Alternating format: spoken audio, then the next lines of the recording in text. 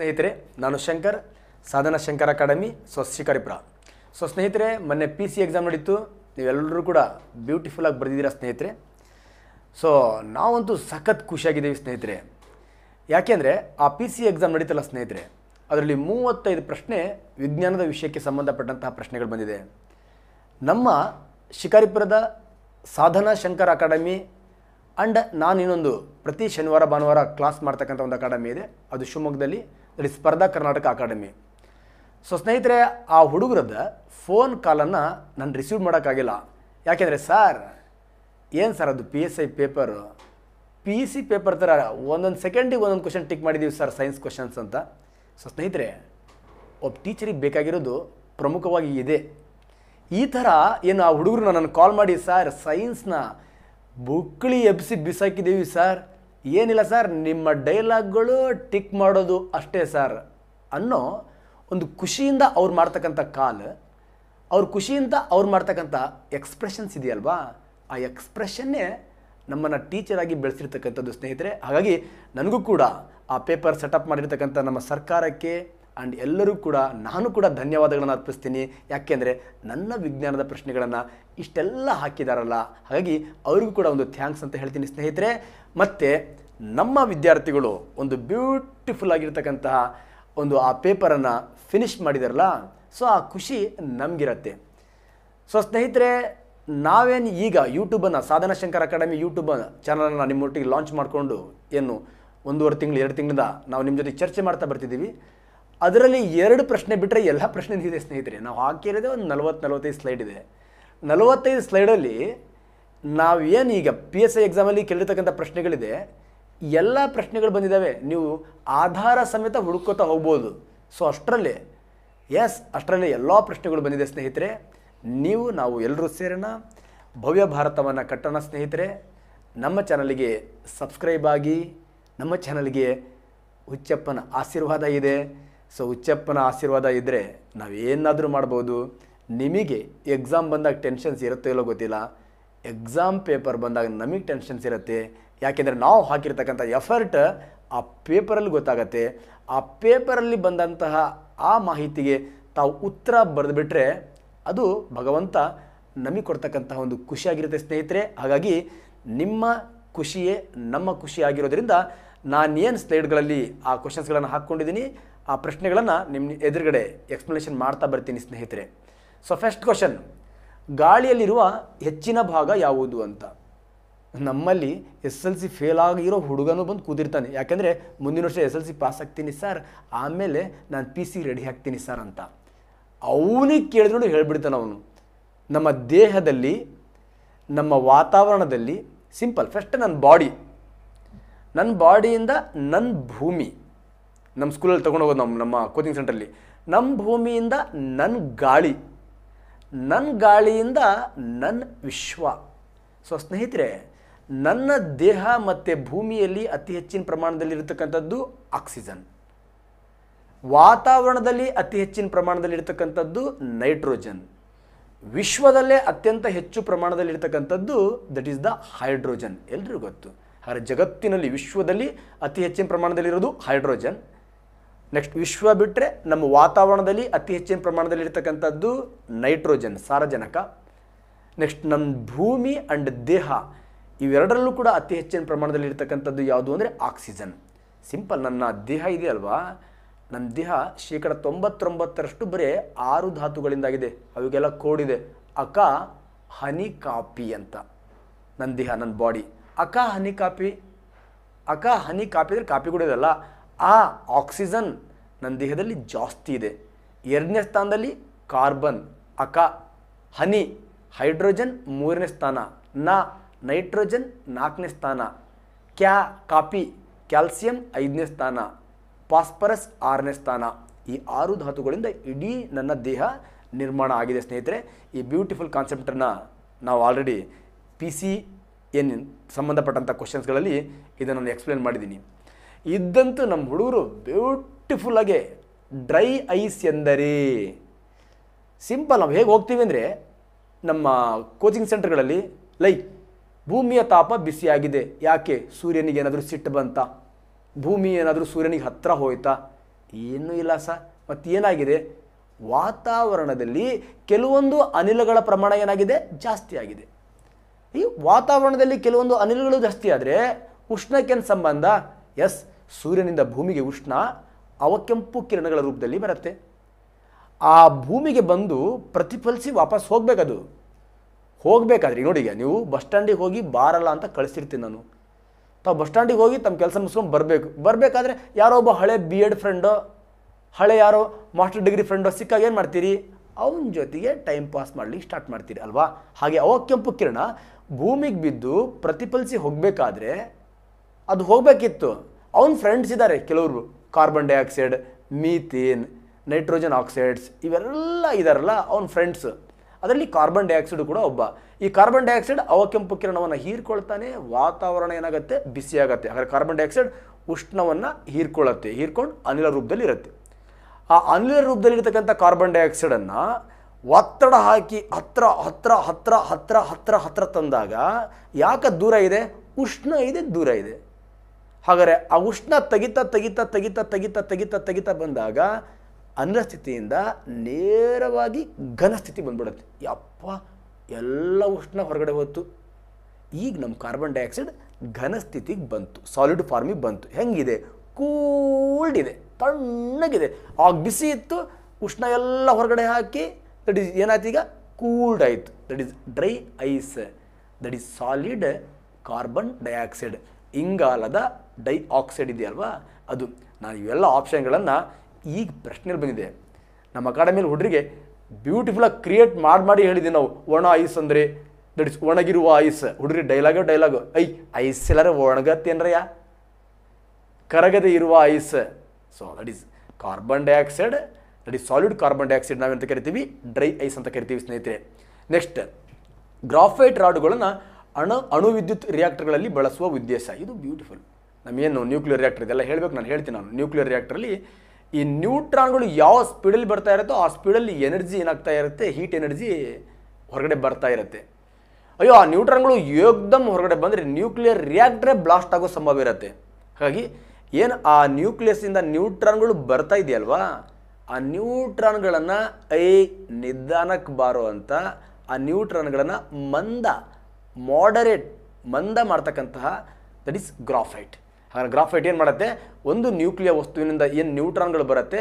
ಆ ನ್ಯೂಟ್ರಾನ್ಗಳನ್ನು ಏನು ಮಾಡುತ್ತೆ? ಸ್ಲೋ ಮಾಡುತ್ತೆ.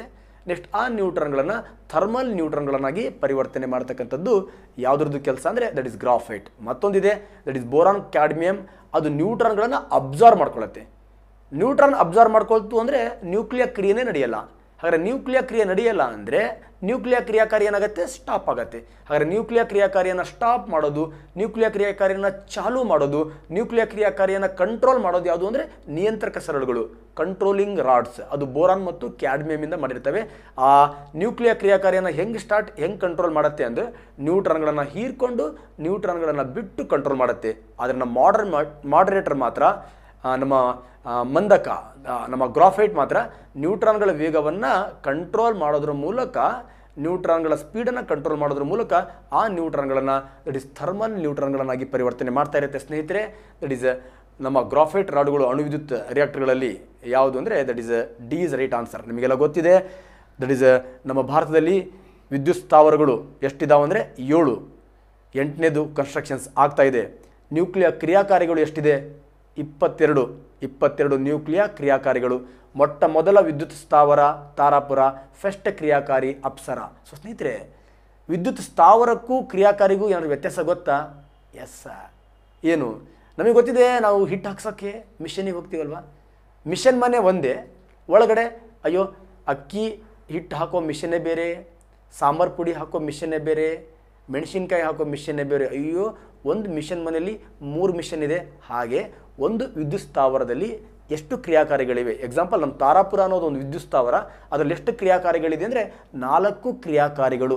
ಹಾಗಾದರೆ ಸ್ಥಾವರ ಅಂದರೆ ಮನೆ, ಸ್ಥಾವರ ಕಳಿವುಂಟು ಜಂಗಮ ಕಳಿವಿಲ್ಲ ಅಂತ ಹೇಳ್ತೇವಲ್ವಾ?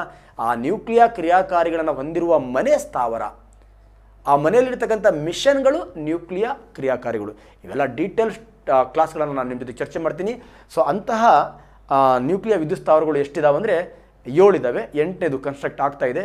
ಇಪ್ಪತ್ತೆರಡು ನ್ಯೂಕ್ಲಿಯರ್ ಕ್ರಿಯಾಕಾರಿಗಳಿದೆ, ಇಪ್ಪತ್ತೆರಡು ಲ್ಯಾಂಗ್ವೇಜಸ್. ಕ್ಲೀನಾಗಿ ನೋಡ್ಕೊಳ್ಳಿ. ಹಾಗಾದ್ರೆ ಇಲ್ಲಿ ಡಿ ರೈಟ್ ಆನ್ಸರ್ ಸ್ನೇಹಿತರೆ. ಸೊ ನೆಕ್ಸ್ಟ್ ಇದಂತೂ ಪಿ ಸಿ ಪೇಪರಲ್ಲಿ ಹಾಕಿದೆ ನೋಡಿ. ಇವೆಲ್ಲ ಪಿ ಸಿ ಪೇಪರಲ್ಲಿ ಒಂದು ಹದಿನೈದು ಕ್ವಶನ್ ಇದಾವೆ ಇಲ್ಲಿ. ಹೀರು ಕಾಗದವು ಶಾಯಿಯನ್ನು ಹೀರುವ ಕ್ರಿಯೆಯು ಇದನ್ನು ಒಳಗೊಂಡಿರುತ್ತದೆ.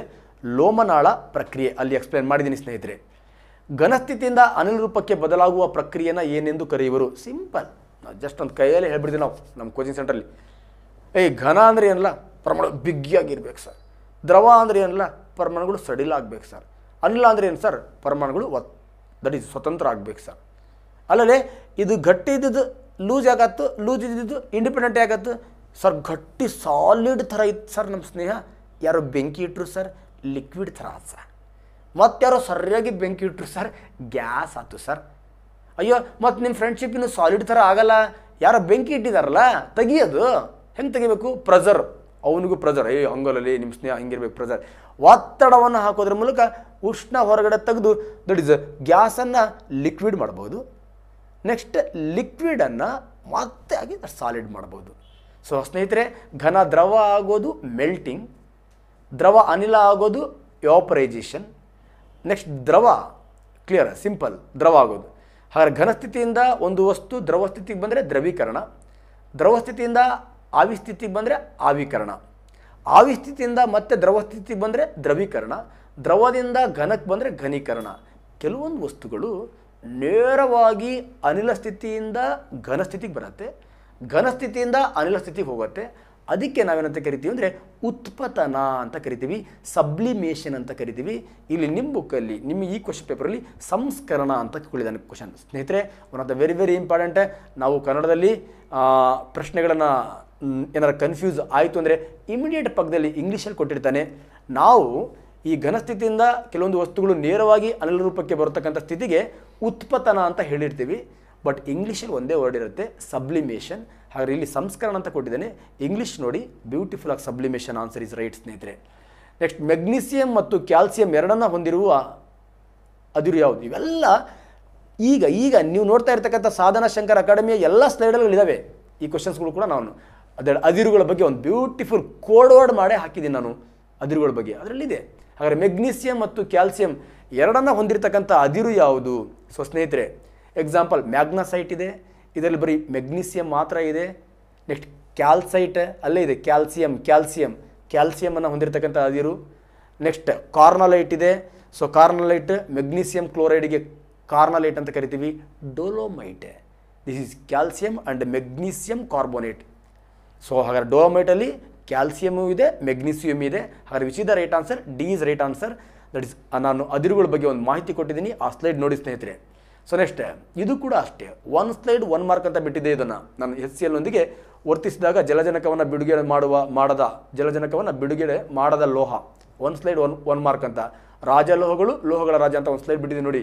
ಒಂದು ಬ್ಯೂಟಿಫುಲ್ ಸ್ಲೈಡ್ ಅದರಲ್ಲಿ ನಿಮಗೆ ಒಂದು ಕ್ವಶನ್ ಯಾವಾಗಲೂ ಒಂದು ಎಕ್ಸಾಮ್ ಬಿಟ್ಟರೆ ಒಂದು ಎಕ್ಸಾಮ್ ಒಂದು ಎಕ್ಸಾಮ್ ಬಿಟ್ಟರೆ ಒಂದು ಎಕ್ಸಾಮಲ್ಲಿ ಒಂದು ಕ್ವಶನ್ ಇದ್ದೇ ಇರುತ್ತೆ. ಸೊ ನಾವು ದಟ್ ಇಸ್ ರಾಜಲೋಹಗಳು. ಸೊ ರಾಜಲೋಹಗಳು ಸಾಮಾನ್ಯವಾಗಿ ಹೈಡ್ರೋಕ್ಲೋರಿಕ್ ಆಮ್ಲ ನೈಟ್ರಿಕ್ ಆಮ್ಲ ಸಲ್ಫ್ಯೂರಿಕ್ ಆಮ್ಲದೊಂದಿಗೆ ರಾಜಲೋಹಗಳು ವರ್ತಿಸಲ್ಲ. ಹಾಗೆ ವರ್ತಿಸೋದಿಲ್ಲ ಅಂದರೆ ಅವು, ಅವುಗಳ ವರ್ತಿಸಿ ಅದ್ರ ಜೊತೆಗೆ ಹೈಡ್ರೋಜನ್ ಈಗಾಗಲೇ ಲೋಹಗಳು ಆಮ್ಲಗಳಲ್ಲಿರ್ತಕ್ಕಂಥ ಹೈಡ್ರೋಜನ್ ಏನು ಮಾಡುತ್ತೆ? ಬಿಡುಗಡೆ ಮಾಡುತ್ತೆ. ಹಾಗೆ ಎಲ್ಲ ಲೋಹಗಳ ರಾಜಲೋಹಗಳು, ಎಲ್ಲ ಆಮ್ಲಗಳೊಂದಿಗೆ ವರ್ತಿಸೋದಿಲ್ಲ. ಸೊ ಹಾಗಾಗಿ ಸ್ನೇಹಿತರೆ, ಇಲ್ಲಿ ರಾಜಲೋಹಗಳಲ್ಲಿ ಯಾರು ಬರ್ತಾರೆ ಇಲ್ಲಿ? ಬಂಗಾರ, ಪ್ಲಾಟಿನಿಯಂ ಪ್ಲಾಟಿನಮ್ ಪೆಲಾಡಿಯಮ್ ಆ್ಯಂಡ್ ಬೆಳ್ಳಿ ಇವೆಲ್ಲವೂ ಕೂಡ ರಾಜಲೋಹಗಳಲ್ಲಿ ಬರುತ್ತೆ. ಸೊ ಹಾಗಾಗಿ ಎಚ್ ಎಲ್ನೊಂದಿಗೆ ವರ್ತಿಸಿದಾಗ ಬಿಡುಗಡೆ ಮಾಡದ ಲೋಹ ಯಾವುದು? ಎಸ್ ಸಿ ಎಲ್ನೊಂದಿಗೆ ವರ್ತಿಸಿದಾಗ ಹೈಡ್ರೋಜನನ್ನು ಬಿಡುಗಡೆ ಮಾಡದ ಲೋಹ ಯಾವುದು? ಸತ್ತು ಎಚ್ ಸಿ ಎಲ್ ಸತುವಿನ ಕ್ಲೋರೈಡ್, ಹೈಡ್ರೋಜನ್ ಬಿಡುಗಡೆ ಆಗುತ್ತೆ. ಕಬ್ಬಿಣ ಎಚ್ ಸಿ ಎಲ್, ಕಬ್ಬಿಣದ ಕ್ಲೋರೈಡ್, ಹೈಡ್ರೋಜನ್ ಬಿಡುಗಡೆ ಆಗುತ್ತೆ. Calcium H C L, hydrogen ಬಿಡುಗಡೆ ಆಗುತ್ತೆ. ಆದರೆ ಬೆಳ್ಳಿ, ಬಂಗಾರ ಪ್ಲಾಟಿನಮ್ ಇವು ಹೈಡ್ರೋಕ್ಲೋರಿಕ್ ಆಮ್ಲದೊಂದಿಗೆ ವರ್ತಿಸಿ ಹೈಡ್ರೋಜನನ್ನು ಬಿಡುಗಡೆ ಮಾಡೋದಿಲ್ಲ. ಹಾಗಾದ್ರೆ ಇಲ್ಲಿ ಕೊಟ್ಟಿರೋ ಆಪ್ಷನ್ ಯಾವುದು? ಬೆಳ್ಳಿ ಇಸ್ ರೈಟ್ ಆಮ್ ಆಪ್ಷನ್ ಸ್ನೇಹಿತರೆ. ಸೊ ಸ್ನೇಹಿತರೆ, ಇಲ್ಲಿ ನಾನು ಈಗ ಬಿಡ್ತಾ ಬರ್ತಿದ್ದೀನಿ ನಾನು? ಜ್ಞಾನದಿಂದ ವಿಜ್ಞಾನ ಅಂತಕ್ಕಂಥ ಒಂದು ಸ್ಲೈಡ್ಗಳನ್ನು ದಟ್ ಇಸ್ ಟೆನ್ ಪಾಯಿಂಟ್ ಅಂದರೆ Shankar top ten point one ten point two so ಅದರಲ್ಲೇ ಈ ಬ್ಯೂಟಿಫುಲ್ ಕ್ವಶನ್ನ ಕಳಿಸಿದ್ದೀನಿ ಸ್ನೇಹಿತರೆ ನಾನು. ಯಾವುದು? ಡಯೋಡ್ ರೆಕ್ಟಿಫೈರ್ ಆಗಿ ಕೆಲಸ ಮಾಡುವಾಗ ಈ ಪರಿವರ್ತನೆ. ಡಯೋಡ್ ಕೆಲಸನೇ ಎ ಸಿ ವಿದ್ಯುತ್ತನ್ನು ಡಿ ಸಿ ಮಾಡೋದು. ಹಾಗಾದ್ರೆ ಡಯೋಡ್ ಎ ಸಿ ವಿದ್ಯುತ್ತನ್ನು ಡಿ ಸಿ ಮಾಡಬೇಕು ಅಂದರೆ ವಿದ್ಯುತ್ತನ್ನು ಒಂದೇ ದಿಕ್ಕಿಗೆ ಹರಿಯುವ ಹಾಗೆ ಮಾಡಬೇಕು. ಹಾಗಾದ್ರೆ ವಿದ್ಯುತ್ ಒಂದೇ ದಿಕ್ಕಿಗೆ ಹರಿಯುವ ಕ್ರಿಯೆ ದಿಷ್ಟಿಕಾರಕ ಕ್ರಿಯೆ. ರೆಕ್ಟಿಫೈಯರ್ ಆಕ್ಷನ್ ಅಂತ ಕರಿತೀವಿ. ಆ ಡಿವೈಸಿಗೆ ನಾವೇನಂತ ಕರಿತೀವಿ? ರೆಕ್ಟಿಫೈಯರ್ ಅಂತ ಕರಿತೀವಿ. ಹಾಗಾಗಿ ಡಯೋಡ್ ರೆಕ್ಟಿಫೈಯರ್ ಆಗಿ ಕೆಲಸ ಮಾಡುವಾಗ ಈ ಪರಿವರ್ತನೆ ಆಗುತ್ತದೆ. ಎ ಸಿ ಡಿ ಸಿ ಆಗಿ ಅಂದರೆ ಪರ್ಯಾಯ ವಿದ್ಯುತ್, ನೇರ ವಿದ್ಯುತ್ ಆಗಿ ಪರಿವರ್ತನೆ ಆಗುತ್ತೆ. ಆಪ್ಷನ್ ಎ ಇಸ್ ರೈಟ್ ಸ್ನೇಹಿತರೆ. ನೆಕ್ಸ್ಟ್ ಥರ್ಮೋ ಎಲೆಕ್ಟ್ರಿಕಲ್ ರೆಫ್ರಿಜರೇಟರ್ ಯಾವ ಪರಿಣಾಮದ ಆಧಾರದ ಮೇಲೆ ಕಾರ್ಯನಿರ್ವಹಿಸುತ್ತದೆ? ದಟ್ ಇಸ್ ಪೆಲ್ಟಿಆರ್ ಪರಿಣಾಮ, ಸ್ನೇಹಿತರೆ. ಈ ಒಂದು ಕ್ವಶನ್ ಇದೆಯಲ್ವಾ? ನಾವು ಏನು ಎರಡು ತಿಂಗಳಲ್ಲಿ ಕಳಿಸಿಲ್ಲ, ಇದು ಕೂಡ ಬ್ಯೂಟಿಫುಲ್ ನಿಮ್ಮ ಲೈಫಲ್ಲೇ ಮತ್ತೊಂದು ಸತಿ ಈ ಪರಿಣಾಮಗಳನ್ನು ನೀವು ಮಿಸ್ ಮಾಡಬಾರ್ದು. ಆ ಥರ ಎಕ್ಸ್ಪ್ಲೇನ್ ಮಾಡಿ ಕಳಿಸ್ತೀನಿ ಸ್ನೇಹಿತರೆ. ನೆಕ್ಸ್ಟ್ ಇದು ಕೂಡ ಸಾವಿರ ಸತಿ ಹೇಳಿದ್ದೀನಿ ನಾನು. ಲೋಹಗಳು ಉತ್ತಮವಾದ ವಿದ್ಯುತ್ ವಾಹಕಗಳು ಯಾಕೆ ಅಂದರೆ ಅವುಗಳಲ್ಲಿ ಫ್ರೀ ಎಲೆಕ್ಟ್ರಾನ್ಸ್ಗಳು ಇರುತ್ತೆ ಅಂತ. ಫ್ರೀ ಮೀನ್ಸ್ ಇಲ್ಲಿ ಅನ್ನ, ಅದು ಅನಿರ್ಬಂಧಿತ ಎಲೆಕ್ಟ್ರಾನ್ಗಳು ಹೊಂದಿವೆ. ದಟ್ ಇಸ್ ನಮ್ಮ ಮೆಟಲ್ಸ್ಗಳಲ್ಲಿ ಫ್ರೀ ಎಲೆಕ್ಟ್ರಾನ್ಸ್ಗಳು ಇರೋದ್ರಿಂದ ಸೊ ಎಲೆಕ್ಟ್ರಾನ್ಗಳನ್ನು ಡೊನೇಟ್ ಮಾಡುತ್ತೆ. ಎಲೆಕ್ಟ್ರಾನ್ಗಳನ್ನು ಡೊನೇಟ್ ಮಾಡೋದ್ರಿಂದ ಅವುಗಳ ಮೂಲಕ ಏನಾಗುತ್ತೆ? ವಿದ್ಯುತ್ ಹರಿಯತ್ತೆ. ಸೊ ಹಾಗಾಗಿ ಇಲ್ಲಿ ten that is A is right option ಸ್ನೇಹಿತರೆ one of the very very important questions ಆಕಾಶದ ನೀಲಿ ಬಣ್ಣಕ್ಕೆ ಕಾರಣ ಪಿ ಸಿಯಲ್ಲಿ ಬ್ಯೂಟಿಫುಲ್ ಪ್ರತಿಫಲನದ ಉಪಯೋಗ ಏನು? ವಕ್ರೀಭವನದ ಉಪಯೋಗವೇನು? ನಮ್ಮ ಸ್ಕ್ಯಾಟ್ರಿಂಗ್ ಉಪಯೋಗವೇನು? ಡಿಸ್ಪರ್ಷನ್ ಹರಡುವಿಕೆ. ಸೊ ಇದನ್ನು ಎಲ್ಲಿ ಯೂಸ್ ಮಾಡ್ತೀವಿ ಅಂತ ಬ್ಯೂಟಿಫುಲ್ ಆಗಿ ಹೇಳಿದ್ದೀನಿ ಸ್ನೇಹಿತರೆ. ಆಕಾಶದ ನೀಲಿ ಬಣ್ಣಕ್ಕೆ ಕಾರಣ ಆಕಾಶ ಬೆಳಗಿನ ಕೆಂಪು ಬಣ್ಣಕ್ಕೆ ಕಾರಣ, ಆಕಾಶ ಸಂಜೆಯ ಸಂದರ್ಭದಲ್ಲಿ ಕೆಂಪು ಬಣ್ಣಕ್ಕೆ ಕಾರಣ, ಲೈಟ್ ಸ್ಕ್ಯಾಟರಿಂಗ್. ಸೊ ನೀವು ಬ್ಯೂಟಿಫುಲ್ ಪಿ ಸಿ ಕ್ವಶನನ್ನು ನೋಡಿ, ನಿಮಗೆ ಅಲ್ಲಿ ಬೆಳಕಿನ ಬಗ್ಗೆ ಕಂಪ್ಲೀಟ್ ಮಾಹಿತಿಯನ್ನು ಕೊಟ್ಟಿದ್ದೀನಿ ನಾನು.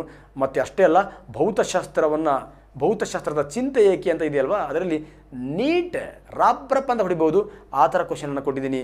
ನೆಕ್ಸ್ಟ್ ಎರಡು ವಿಭಿನ್ನ ತೂಕದ ದೇಹಗಳು ಪ್ರಾರಂಭಿಕ ಸ್ಥಿರ ಸ್ಥಿತಿಯಲ್ಲಿದ್ದು ನಂತರ ಒಂದೇ ಸಮಯದಲ್ಲಿ ಒಂದೇ ಪ್ರಮಾಣದ ಬಲ ಉಪಯೋಗ ಮಾಡಿದಾಗ ಎರಡೂ ದೇಹಗಳು. ಸೊ ಸ್ನೇಹಿತರೆ, ಏನಿಲ್ಲ? Mass and velocity okay mass ರಾಶಿ ಮತ್ತು ವೇಗ ಇದೆಯಲ್ವಾ?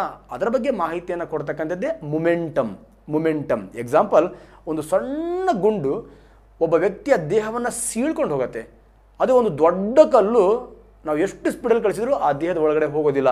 ಹಾಗಾದ್ರೆ ಸಿಂಪಲ್ ನಮ್ಮ ಮಾಸ್ ಕಡಿಮೆ ಆದಾಗ ವೆಲಾಸಿಟಿ ಸ್ಪೀಡ್ ಏನಾಗಿರುತ್ತೆ, ಜಾಸ್ತಿ ಇರುತ್ತೆ, ಮಾಸ್ ಜಾಸ್ತಿ ಇದ್ದಾಗ ಸ್ಪೀಡ್ ಕಡಿಮೆ ಆಗುತ್ತೆ. ಇದ್ರ ಬಗ್ಗೆ ನಿಮಗೆ ಬ್ಯೂಟಿಫುಲ್ ಆಗಿ ಮೂಮೆಂಟ್ ಬಗ್ಗೆ ಕಾನ್ಸೆಪ್ಟನ್ನು ಕೊಡ್ತೀನಿ. ಹಾಗಾದರೆ ಈ ಪ್ರಶ್ನೆಗೆ ಆನ್ಸರ್ ಯಾವುದಪ್ಪ ಅಂದರೆ B is right answer that is uh momentum or ಆವೇಗ. ಇದು ರಾಶಿ ಮತ್ತು ವೇಗದ ಬಗ್ಗೆ ಮಾಹಿತಿಯನ್ನು ಕೊಡುತ್ತೆ.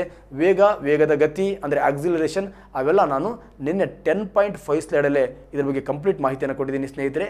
ನೋಡ್ಕೊಳ್ಳಿ. ನೆಕ್ಸ್ಟ್ ಈ ಕೆಳಕಂಡಗಳಲ್ಲಿ ಯಾವುದು ವಿದ್ಯುತ್ ಕಾಂತದ ಒಳಭಾಗಕ್ಕೆ ಸೂಕ್ತವಾಗಿದೆ. ದಟ್ ಈಸ್ ಮೆದು ಕಬ್ಬಿಣ ಸೊ ಇದು ಕೂಡ ನಾನು ನಿಮ್ಮ ಜೊತೆಗೆ ಚರ್ಚೆ ಮಾಡ್ತೀನಿ. ನೆಕ್ಸ್ಟ್ ಸೂರ್ಯನಲ್ಲಿರುವ ಪ್ರಮುಖ ಅನಿಲಗಳು ಯಾವುದು? ಯಾ ಸಿಂಪಲ್ ನ್ಯೂಕ್ಲಿಯರ್ ಸಮ್ಮಿಲನ ಕ್ರಿಯೆಗೆ ಕಾರಣವಾಗಿರ್ತಕ್ಕಂಥದ್ದು ಯಾವುದು ಅಂದರೆ ಹೈಡ್ರೋಜನ್. ಹೈಡ್ರೋಜನ್ ಒಂದರಲ್ಲಿ ಒಂದರಲ್ಲಿ ಸೇರ್ತಕ್ಕಂಥ ಹೋಗೋದೇ ಸಮ್ಮಿಲನ ಹಾಗಾದ್ರೆ ಹೈಡ್ರೋಜನ್ ಒಂದರಲ್ಲಿ ಒಂದು ಸೇರಿ ಏನಾಗ್ತಾ ಹೋಗುತ್ತೆ? ಹೀಲಿಯಂ. ಸೊ ಸ್ನೇಹಿತರೆ, ಸಿಂಪಲ್ ನಕ್ಷತ್ರಗಳ ಹುಟ್ಟು ಸಾವು, ಅದರಲ್ಲಿ ಕ್ಲಿಯಾರಿಟಿ ನಾನು ಮಾಡಿದ್ದೀನಿ ನಿಮಗೆ. ಸೊ ಸಿಂಪಲ್, ಹಾಗಾದ್ರೆ ನಕ್ಷತ್ರ ಆ ಸೂರ್ಯನಲ್ಲಿ ಪ್ರಮುಖವಾಗಿರ್ತಕ್ಕಂಥ ಧಾತು ಯಾವುದು? Hydrogen, next helium. So next ಸೂರ್ಯನ ಸಾವು ಹೇಗಾಗುತ್ತೆ ಅಂದರೆ ಹೀಲಿಯಂ ಗರ್ಭ. ಅವೆಲ್ಲ ಕ್ಲಿಯಾರಿಟಿ ನಾನು ಕೊಡ್ತೀನಿ ನಿಮಗೆ. That is complete beautiful answer that is A is right answer ಸ್ನೇಹಿತರೆ. ನೆಕ್ಸ್ಟ್ ಸೂಪರ್ ಕಂಡಕ್ಟರ್ಗಳು ಅಂದರೆ ನಮ್ಮ ಪಿ ಸಿ ಹುಡುಗರು ಹಬ್ಬ ಹಬ್ಬ ಮಾಡ್ತಾರೆ ಇವೆಲ್ಲ super conductor conductor and insulators ಅಂದರೆ. ಏನಿಲ್ಲ ಸ್ನೇಹಿತರೆ, ಒಂದು ವಾಹಕದ ಮೂಲಕ ವಿದ್ಯುತ್ ಹರಿಬೇಕು. ಅರ್ಥಾತ್ ಒಂದು ವಾಹಕದ ಮೂಲಕ ಎಲೆಕ್ಟ್ರಾನ್ಗಳು ಹೋಗಬೇಕು. ಓಕೆ, ಒಂದು ರೋಡಲ್ಲಿ ನಾನು ಓಡ್ ಹೋಗ್ಬೇಕಪ್ಪ. ಎಸ್ ನಾನೀಗ ಎಲೆಕ್ಟ್ರಾನ್ ಅಂತ ಅನ್ಕೊಳೋಣ, ರೋಡ್ ವಾಹಕ ಅಂತ ಅನ್ಕೊಳೋಣ. ನಾನೀಗ ಟಾರ್ ರೋಡಲ್ಲಿ ಓಡ್ ಹೋಗ್ತಾ ಇದ್ದೀನಿ. ನಾನೀಗ ಗದ್ದೆ ರೋಡಲ್ಲಿ ಓಡ್ ಹೋಗ್ತಿದ್ದೀನಿ. ನಾನೀಗ ಬದಿ ಮೇಲೆ ಓಡೋಗ್ತಿದ್ದೀನಿ. ಸೊ ಸ್ನೇಹಿತರೆ, ಎಲ್ಲಿ ನಾನು ತುಂಬ ವೇಗವಾಗಿ ಓಡೋಗ್ತೀನಿ? ಸಾರ್ ಟಾರ್ ರೋಡಲ್ಲಿ ಯಾಕೆ? ಅಡೆತಡೆಗಳು ಏನು ಇರಲ್ಲ ಸರ್ ಚಂದಿರುತ್ತೆ ಓಡಲಿಕ್ಕೆ ಯಾವುದು ಡಿಸ್ಟರ್ಬ್ ಇರಲ್ಲ. ಹಳ್ಳಿ ರೋಡು ಸರ್ ಗುಂಡಿ ಎಲ್ಲ ಇರ್ತವೆ ಡಿಸ್ಟರ್ಬ್ ಇರುತ್ತೆ. ಬದೆ ಸಾರ್ ಎಲ್ಲೆಲ್ಲ ಬದೆ ಹೊಡ್ಕೊಂಡು ಇರುತ್ತೆ. ಸೊ ಸಿಂಪಲ್ ನಾನು ಓಡಲಿಕ್ಕೆ ಆ ರೋಡಲ್ಲಿ ಕೆಲವೊಂದು ಗುಣಗಳು ಏನು ಮಾಡ್ತಾ ಇದೆ? ಅಡೆತಡೆಗಳು ಮಾಡ್ತಾ ಇದೆ ಅಲ್ವಾ? ಹಾಗೆ ಒಂದು ವಾಹಕದಲ್ಲಿ ವಿದ್ಯುತ್ ಹರಿಲಿಕ್ಕೆ ಎಲೆಕ್ಟ್ರಾನ್ ಹರಿಲಿಕ್ಕೆ ಆ ವಾಹಕದಲ್ಲಿ ಅಡೆತಡೆಗಳು ಉಂಟಿರುತ್ತೆ. ಆ ಅಡತಡೆಗಳಿಗೆ ನಾವೇನಂತ ಕರಿತೀವಿ? ರೋಧ ಅಂತ ಕರಿತೀವಿ ಸ್ನೇಹಿತರೆ. ಅಡೆತಡೆಗಳು ಕಡಿಮೆ ಇದ್ದಾಗ ವಿದ್ಯುತ್ ಹರಿಯುವ ವೇಗ ಏನಾಗಿರುತ್ತೆ? ಜಾಸ್ತಿ ಇರುತ್ತೆ. ರೋಧ ಕಡಿಮೆ ಇದ್ದಾಗ ವಿದ್ಯುತ್ ಹರಿಯುವ ವೇಗ ಏನಾಗಿರುತ್ತೆ? ಜಾಸ್ತಿ. ರೋಧ ಕಡಿಮೆ ಇದ್ದಾಗ ವಿದ್ಯುತ್ ಹರಿಯುವ ವೇಗ ಜಾಸ್ತಿ ಇರುತ್ತೆ. ರೋಧ ಜಾಸ್ತಿ ಇದ್ದಾಗ ವಿದ್ಯುತ್ ಹರಿಯುವ ವೇಗ ಏನಾಗಿರುತ್ತೆ? ಕಡಿಮೆ ಇರುತ್ತೆ ಸ್ನೇಹಿತರೆ. ಹಾಗಾದರೆ ಸಿಂಪಲ್ ಒಂದು ಲೋಹವನ್ನು ನಾವು cool cool cool cool cool ಮಾಡಿದಾಗ ಅದರ ರೋಧ ಕಡಿಮೆ ಆಗತ್ತೆ, ವಿದ್ಯುತ್ ಪ್ರವಾಹದ ವೇಗ ಏನಾಗ್ತದೆ? ಜಾಸ್ತಿ ಆಗತ್ತೆ. ಯಾವುದೋ ಒಂದು ಸಂದರ್ಭದಲ್ಲಿ ನಮ್ಮ ಆ ಲೋಹ ಜೀರೋ ರೋಧವನ್ನು ತಲುಪತ್ತೆ. ಆ ಜೀರೋ ರೋಧವನ್ನು ತಲುಪ್ತಕ್ಕಂತಹ ಆ ಪ್ರತಿರೋಧವನ್ನು ಇಲ್ಲದ ಹಾಗೆ ಇರತಕ್ಕಂಥ ಸ್ಥಿತಿಗೆ ನಾವೇನಂತ ಕರಿತೀವಿ? ಸೂಪರ್ ಕಂಡಕ್ಟರ್ ಅಂತ ಕರಿತೀವಿ ಸ್ನೇಹಿತರೆ. ಹಾಗಾದರೆ ಇಲ್ಲಿ ಸೀಸ್ ರೈಟ್ ಆನ್ಸರ್. ವಿದ್ಯುತ್ ಹರಿಯುವಿಕೆಗೆ ಪ್ರತಿರೋಧ ತೋರುವುದಿಲ್ಲ.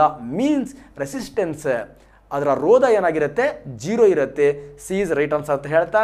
ಸೊ ನೆಕ್ಸ್ಟ್ ಕ್ಯಾಲ್ಸಿಯಂ ಕ್ಲೋರೈಡ್ ಅಂದರೆ ಕ್ಯಾಲ್ಸಿಯಂ ಆಕ್ಸಿಕ್ಲೋರೈಡ್ ಇದರ ಸಾಮಾನ್ಯ ಹೆಸರು ನಕ್ಕು ನಕ್ಕು ಸಾಕಾಗ್ತಾರೆ ನಮ್ಮ ಕೋಚಿಂಗ್ ಸೆಂಟ್ರಲ್ಲಿ ಕ್ಯಾಲ್ಸಿಯಂ ಆಕ್ಸಿ ಕ್ಲೋರೈಡ್. ಆಕ್ಸಿ ಅಂದರೆ ಏನಿಲ್ಲ, ಇದು ಬ್ಯೂಟಿಫುಲ್ ಕಲರನ್ನು ಜಾಸ್ತಿ ಮಾಡ್ತಕ್ಕಂಥದ್ದು. ನನ್ನ ಬಟ್ಟದ, ಬಟ್ಟೆಯ ಬಿಳಿ ಥ್ರೆಡ್ಗಳ ಕಲರನ್ನು, ಪೇಪರ್ನ ಕಲರನ್ನು, ಅದು ಬೇಡ. ನಿಮ್ಮನೇಲಿರೋ ಟಾಯ್ಲೆಟ್ ದಟ್ ಸ್ಯಾನಿಟರಿ ಮೆಟೀರಿಯಲ್ಸ್ ಹಾಕ್ತಿರಲ್ಲ, ಸೊ ಅದಕ್ಕೇನು ಮಾಡ್ತೀವಿ? ಬ್ಲೀಚಿಂಗ್ ಪೌಡ್ರ್ ಹಾಕ್ತೀವಿ, ಚೆನ್ನಾಗಿ ಹತ್ತು ನಿಮಿಷ ಬಿಟ್ಟು ತಿಕ್ಕಿ ತೊಳೆದು ಬಿಡ್ತೀವಿ ಅಯ್ಯೋ ಅಷ್ಟನ್ನ ಕಲರಲ್ಲಿತ್ತು ನಮ್ಮ ಟಾಯ್ಲೆಟ್ ರೂಮ್, ಇವತ್ತು ಬೆಳ್ಳಗೆ ಹೊಳಿತಾ ಇದೆ. ಸೊ ಸ್ನೇಹಿತರೆ, ಅದೇ ಬೇಡ. ಮುಖ ಬ್ಲೀಚ್ ಮಾಡೋಕ್ಕೆ ಹೋಗ್ತೀವಲ್ವ? ಏನಕ್ಕೆ ಮುಖ ಬ್ಲೀಚ್ ಮಾಡಿಸ್ತೀವಿ?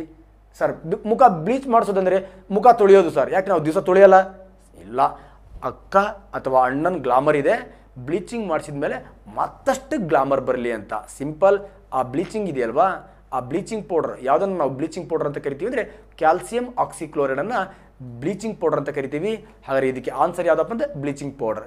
ನಮಗೆ ಮತ್ತು baking soda, baking sodium bicarbonate, ಬಾಯಿಗೆ ಹಾಕ್ಕೊಳ್ಳೋದು ಬಾಯಿಗೆ. ಬೇಕೇನಾ? ಆ, baking baking soda. Sodium, bicarbonate. ತೊಳಿಂಗ್ soda, washing soda, sodium carbonate. So simple, ಇವೆಲ್ಲ ಬ್ಯೂಟಿಫುಲ್ ಸಾಲ್ಟ್ ಅನ್ನೋ ಟಾಪಿಕನ್ನು ಸ್ಟಾರ್ಟ್ ಮಾಡಿದ್ದೀನಿ. ಮತ್ತೆ ಆ, ಯಾವುದು ಆಸಿಡ್ ಅನ್ನೋ ಟಾಪಿಕನ್ನು ಸ್ಟಾರ್ಟ್ ಮಾಡಿದ್ದೀನಿ.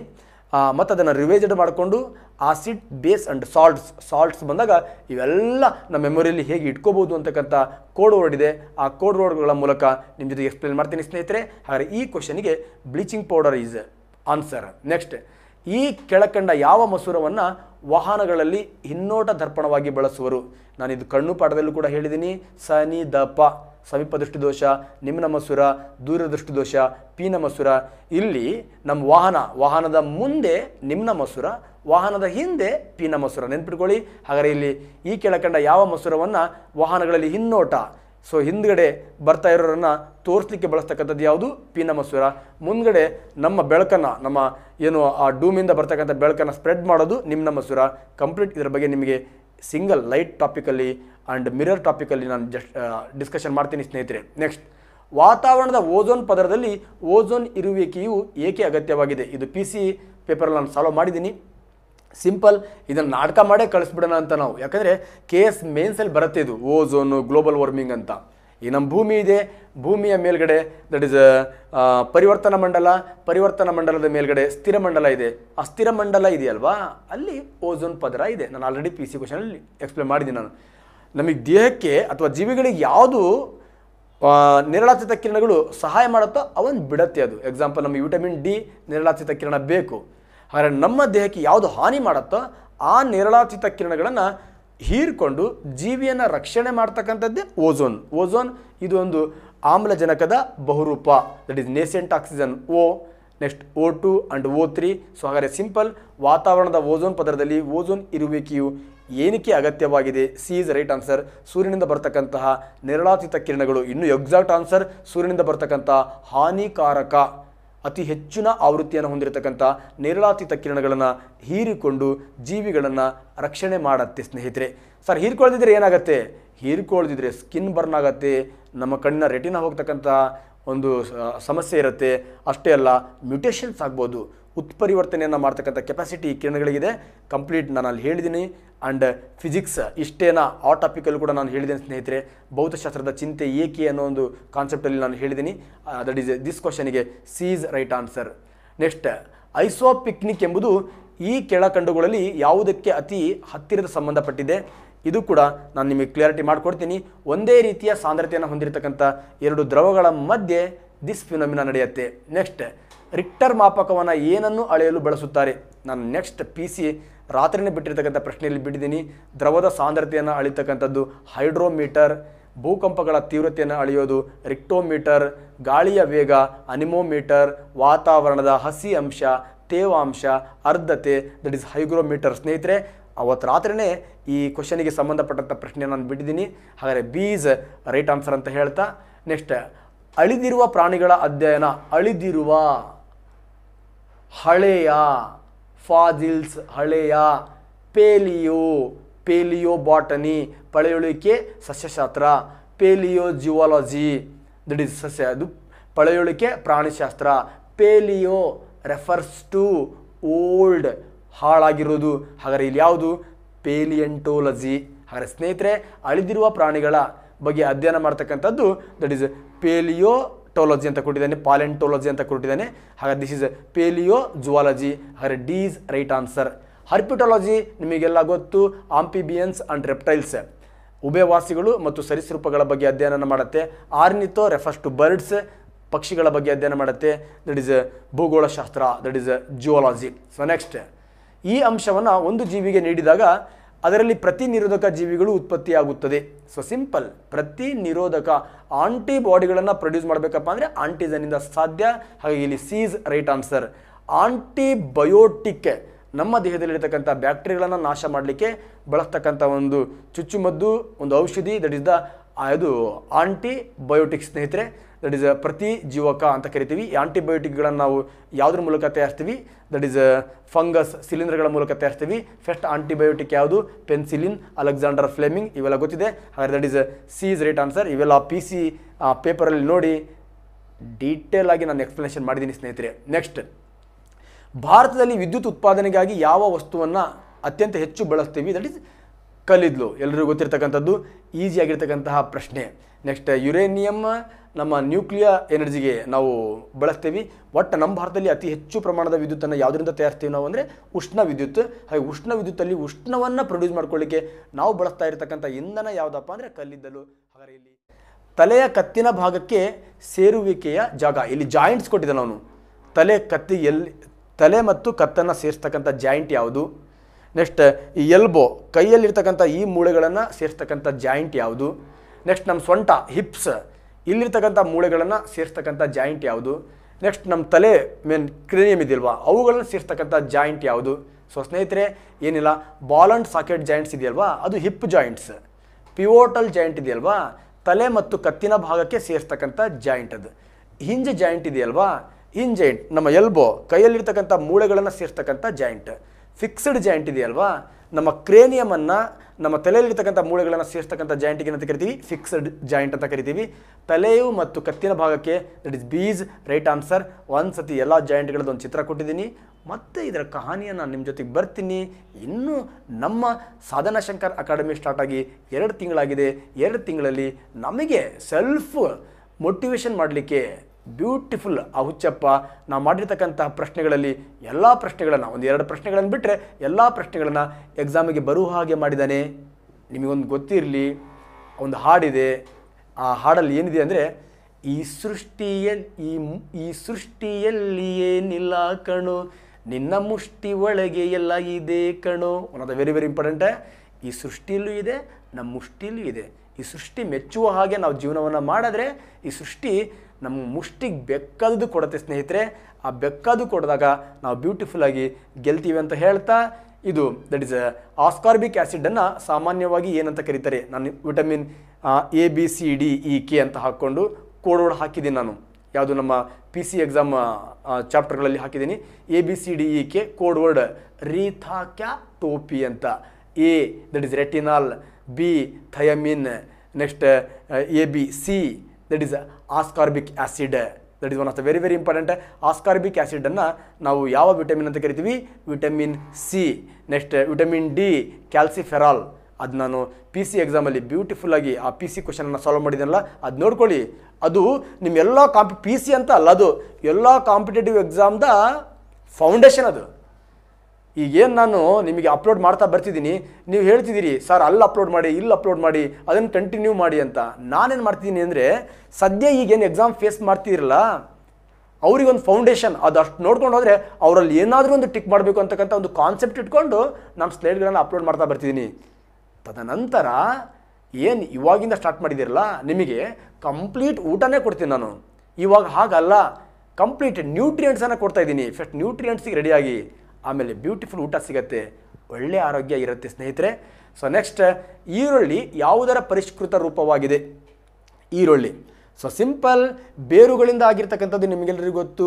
ದಟ್ ಇಸ್ ಗೆಜ್ರಿ ಬೀಟ್ರೋಟ್ ಇವೆಲ್ಲ ರೂಟ್ ಮಾಡಿಫಿಕೇಶನ್ ಬೇರಿನ ಮಾರ್ಪಾಡು. ಸೊ ಸ್ನೇಹಿತರೆ ನೆಕ್ಸ್ಟ್ ಶುಂಠಿ, ಆಲೂಗಡ್ಡೆ ಇದೆಯಲ್ವಾ? ಇದು ಕಾಂಡದ ಮಾರ್ಪಾಡು ಸ್ಟೆಮ್ ಮಾಡಿಫಿಕೇಶನ್ ಸೊ ನೆಕ್ಸ್ಟ್ ಈರುಳ್ಳಿ, ಬೆಳ್ಳುಳ್ಳಿ ಇದೆಯಲ್ವಾ? That is the leaves modification ಎಲೆ ಮಾಡಿಫಿಕೇಶನ್ ಹಾಗಾದ್ರೆ ಇಲ್ಲಿ ಈರುಳ್ಳಿಯು ಯಾವುದರ ಪರಿಷ್ಕೃತ ರೂಪವಾಗಿದೆ?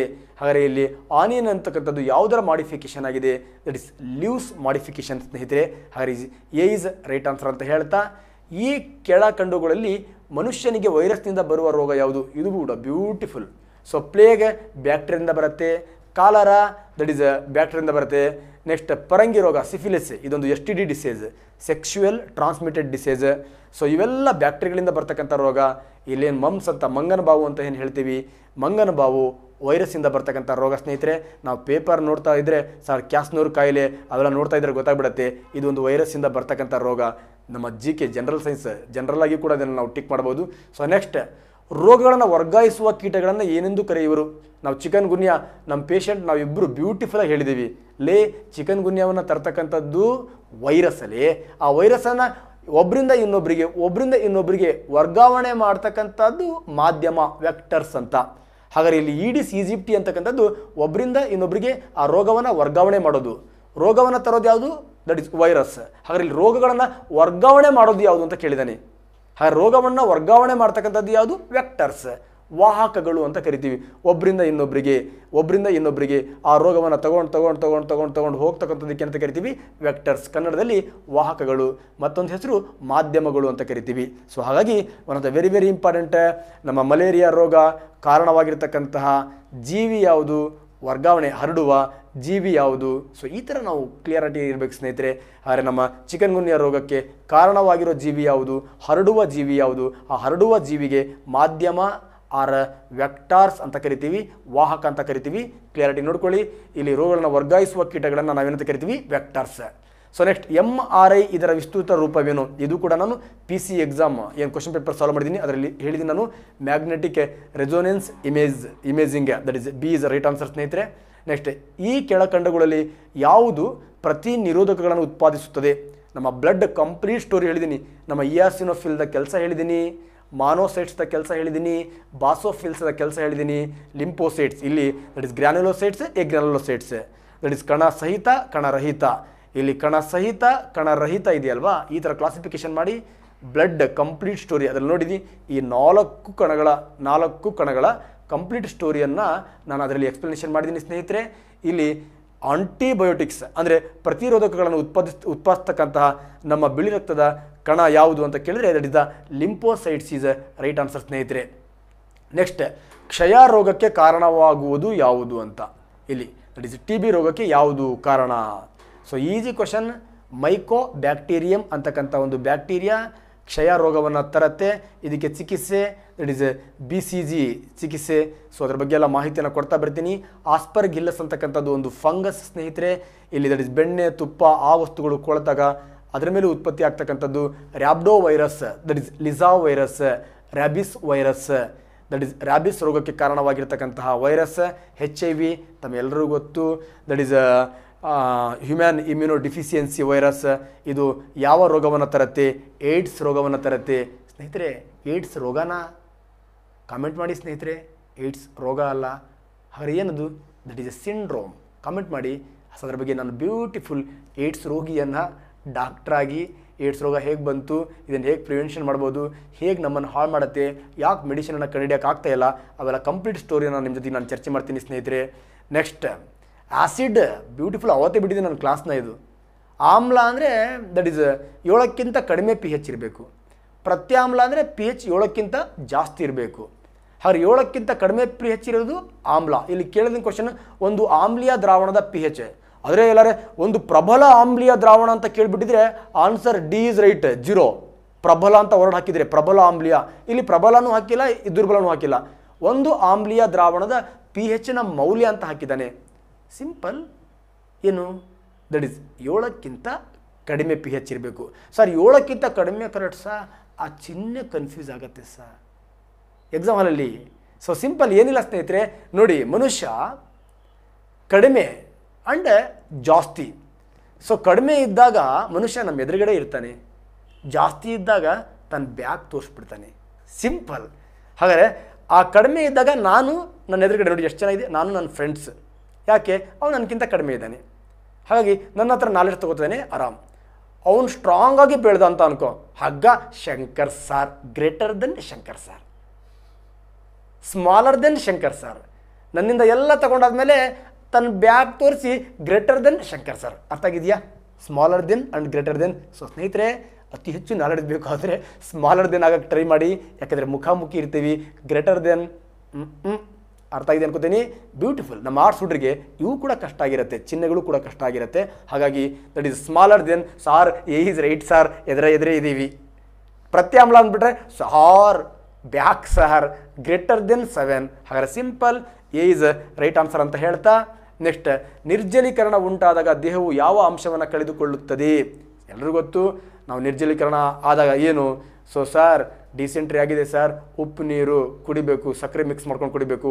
ಉಪ್ಪು ದಟ್ ಈಸ್ ಸೋಡಿಯಂ ಕ್ಲೋರೈಡ್ ಅಂಶವನ್ನು ಕಳ್ಕೊಳ್ಳುತ್ತೆ. ಸೊ ಇಸ್ ನೆನ್ಪಿಟ್ಕೊಳ್ಳಿ ಸ್ನೇಹಿತರೆ that is ninety eight B is right answer next coffee ಮತ್ತು ಟೀ ಪಾನೀಯದಲ್ಲಿರುವ ಮುಖ್ಯ ಪ್ರಚೋದಕ ಎಲ್ಲರಿಗೂ ಗೊತ್ತು. ನಮ್ಮ ತಂಬಾಕಿನಲ್ಲಿ ನಿಕೋಟಿನ್ ಇರುತ್ತೆ. ನಮ್ಮ ಪ್ಲಾಸ್ಟಿಡ್ ಕ್ಲೋರೋಪ್ಲಾಸ್ಟ್ ಸಸ್ಯಗಳಲ್ಲಿ ಆಹಾರ ತಯಾರಿಸಲಿಕ್ಕೆ ಕ್ಲೋರೋಫಿಲ್ ಇದೆ. ಟೀ, ಕಾಫಿ ಟೀಗಳಲ್ಲಿ ಕೆಫಿನ್ ಇದೆ. ಆಸ್ಪರಿನ್ ದಟ್ ಇಸ್ ಇದೊಂದು ನೋವು ನಿವಾರಕ. ಹಾಗಾದರೆ which the right answer caffeine is the right answer ಅಂತ ಹೇಳ್ತಾ ಸೊ ನೆಕ್ಸ್ಟ್ ಪಾಲಿಥಿನನ್ನು ಉತ್ಪಾದಿಸಲು ಬೇಕಾಗುವ ವಸ್ತು. ಸೊ ಸ್ನೇಹಿತರೆ ಇದು ಸ್ವಲ್ಪ ಕನ್ನಡ ಮೀಡಿಯಮಲ್ಲಿ ಕ್ವಶನ್ ಸರಿ ಇದೆ. ಇಂಗ್ಲೀಷ್ ಮೀಡಿಯಮಲ್ಲಿ ನೋಡಿ. ಇಂಗ್ಲೀಷ್ ಮೀಡಿಯಮಲ್ಲಿ ಏನೂ ಕೂಡ ಈಥೇನ್ ಅಂತ ಕೊಟ್ಟಿದ್ದಾನೆ ಡಿನೂ ಕೂಡ ಈಥೇನ್ ಅಂತಾನೆ ಕೊಟ್ಟಿದ್ದಾನೆ. ಹಾಗೆ ಕನ್ನಡ ಮೀಡಿಯಂ ಸರ್ ಕನ್ನಡ ಮೀಡಿಯಮಲ್ಲಿ ಕರೆಕ್ಟ್ ಇದೆ. Ethane, ethylene and ethyl alcohol ethene ಹಾಗೆ ಸಿಂಪಲ್ ಕನ್ನಡ ಮೀಡಿಯಂ ಮೂಲಕ ಹೋದರೆ which the right answer B also is right answer D also right answer ಬಿನೂ ಸರಿ ಹೌದು ಡಿನೂ ಸರಿ ಹೌದು. ಯಾವುದು ಕನ್ನಡ ಮೀಡಿಯಂ ಪೇಪರ್ ಕನ್ನಡ ಮೀಡಿಯಮಲ್ಲಿ ಪ್ರಿಂಟ್ ಆಗಿರೋದು ನೋಡಿದರೆ. ಇಂಗ್ಲೀಷ್ ಮೀಡಿಯಮಲ್ಲಿ ಪ್ರಿಂಟ್ ಆಗಿರೋದಾಗೆ ಏನು ಈತೇನು ಕೊಟ್ಟಿದ್ದಾನೆ ಡಿನೂ ಈತೇನು ಕೊಟ್ಟಿದ್ದಾನೆ. ಹಾಗಾಗಿ ಬ್ಯೂಟಿಫುಲ್ ಆನ್ಸರ್ ಯಾವುದು? That is B is right answer ಹಾಗೆ ನಿಮ್ಮ ಅಲ್ಲಿ ಇನ್ಸ್ಟ್ರಕ್ಷನ್ಸ್ ಕೊಟ್ಟಿದ್ದಾನೆ. ಆಂಗ್ಲ ಭಾಷೆ, ಕನ್ನಡ ಭಾಷೆಯಲ್ಲಿರ್ತಕ್ಕಂಥ ಯಾವುದೇ ಪ್ರಶ್ನೆಗಳಲ್ಲಿ ಗೊಂದಲ ಆದರೆ ಆಂಗ್ಲ ಭಾಷೆ ಹಾಗೆ ಆಂಗ್ಲ ಭಾಷೆನೇ ಸುಪ್ರೀಂ ಇರೋದ್ರಿಂದ ಬಿ ಈಸ್ ರೈಟ್ ಆನ್ಸರ್ ಸ್ನೇಹಿತರೆ so one of the very very important that is polythene polythene ಅಂದರೆ ನಾವೆಲ್ಲ ನೋಡಿದ್ದೀವಿ. ಪಾಲಿಥಿನ್ ಪ್ಲಾಸ್ಟಿಕ್ ಬ್ಯಾಗಡಿ ಬ್ಯಾಗಡಿ ಅಂತ ಹೇಳ್ತೀವಲ್ಲ ಬ್ಯಾಗಡಿ ಕವರ್ ಪ್ಲಾಸ್ಟಿಕ್ ಕವರ್ ಇದು ಪಾಲಿಥಿನ್ ಈ ಪಾಲಿಥಿನನ್ನು ಮಾಡಲಿಕ್ಕೆ ಬಳಸ್ತಕ್ಕಂಥ ಮಾನೋಮರ್ ಯಾವುದು? Ethene ಈಥಿನ್ನ I U P A C name ಏನು? ದಟ್ ಇಸ್ ದ ಎಥಿಲಿನ್ ಹಾಗಾದ್ರೆ ಇಲ್ಲಿ ಕನ್ನಡದಲ್ಲಿ ಈಥಿನ್ ಇರ್ಬೋದು, ಆದರೆ ಅದರ ಡಿ ಆಪ್ಷನ್ ಇಂಗ್ಲೀಷಲ್ಲಿ ಈಥಿನ್ ಇಲ್ಲ. ಈಥೇನ್ ಇದೆ ಹಾಗಾಗಿ ಅಲ್ಲಾಗಿರೋ ಮಿಸ್ಟೇಕಿಂದ ಸ್ವಲ್ಪ ನಮ್ಮ ಕನ್ನಡ ಮೀಡಿಯಂ ಹುಡುಗರು ಇಲ್ಲಿ ಗೊಂದಲ ಮಾಡ್ಕೋಬೋದು. ಬಟ್ ರೈಟ್ ಆನ್ಸರ್ ಎರಡು ಹೌದು ಕನ್ನಡ ಮೀಡಿಯಮಲ್ಲಿ ಕನ್ನಡ ಮೀಡಿಯಮಲ್ಲಿ ಎರಡು ಹೌದು. ಇಂಗ್ಲೀಷ್ ಮೀಡಿಯಂ ನೋಡಿದಾಗ ಈಥೀನ್ ಇಲ್ಲ ಈಥೇನ್ ಇದೆ ಹಾಗಾಗಿ ಬೀಸ್ ರೈಟ್ ಆನ್ಸರ್ ಅರ್ಥ ಆಗಿದೆ ಅನ್ಕೋತೀನಿ.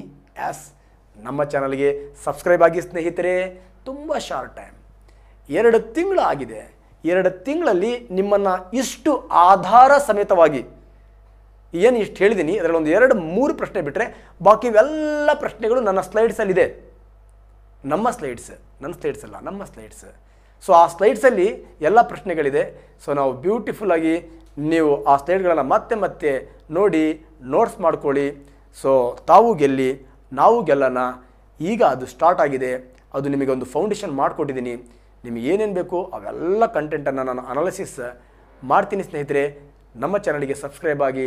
ಭಗವಂತ ತಮ್ಮೆಲ್ಲರೂ ಕೂಡ ಒಳ್ಳೇದು ಮಾಡಲಿ, ನಮಗೂ ಒಳ್ಳೇದು ಮಾಡಲಿ. ಇಡೀ ಜಗತ್ತಲ್ಲಿ ನಾವೆಲ್ಲರೂ ಒಳ್ಳೆಯರಾಗಿದ್ದರೆ ಸೊ ಜಗತ್ತೇ ಒಳ್ಳೆತನ ಇರುತ್ತೆ. ಒಳ್ಳೆತನ ಮಾತ್ರ ಶಾಶ್ವತ, ಕೆಟ್ಟತನ ಯಾವತ್ತೂ ಕೂಡ ಶಾಶ್ವತ ಅಲ್ಲ. ಹಾಗಾಗಿ ದಟ್ ಇಸ್ ಮೆದುಳಿನಿಂದ ಯೋಚಿಸ್ತಕ್ಕಂಥದ್ದಕ್ಕಿಂತ ಹೆಚ್ಚು ಹೃದಯದಿಂದ ಯೋಚಿಸಿ ಅಂತ ಹೇಳ್ತಾ ಈ ಸ್ಲೈಡನ್ನು ಸ್ಟಾಪ್ ಮಾಡ್ತೀನಿ ಸ್ನೇಹಿತರೆ. ನಾನು ಶಂಕರ್, ಸಾಧನ ಶಂಕರ್ ಅಕಾಡೆಮಿ, ಶಿಕಾರಿಪುರ. ನಮಸ್ಕಾರ.